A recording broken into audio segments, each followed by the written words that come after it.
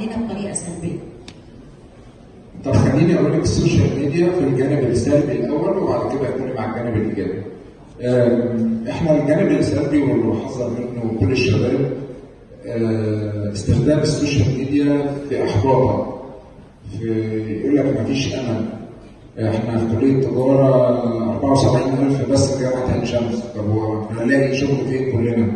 طب البلد رايحة على فين؟ كل ده استغلال سيء حروب الجيل الرابع وطالع حروب الجيل الخامس واستخدام سيء لل social media آه، لتدمير معنوياتك. ودي المفروض ما تبقاش ولا حد فيكم لأن كل واحد مش خلي بالكم ال social media اللي بيكتب ال post ده آه، مفيش أمل. خد منه أقل من ثانية بس خد من تفكيرك كتير. لما تكتب لما واحد عايز يدمر الشباب المصري ويحاربهم حروب من غير ما يتعب. هو بياخد منه ثانية فانت لازم تركز إن السوشيال ميديا فيها سلبيات آه، آه، ناس مش مش مش بخون حد ولا بس حقيقة يعني أنا بشوفها.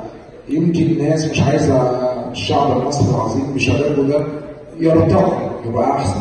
فتدميرك ممكن يجي في ثانية بكلمه أنت تبقى أقوى من الكلام ده وأقوى من الكلمة وأقوى من الثانية. آه، بل بالعكس انت ازاي تستفيد من السوشيال ميديا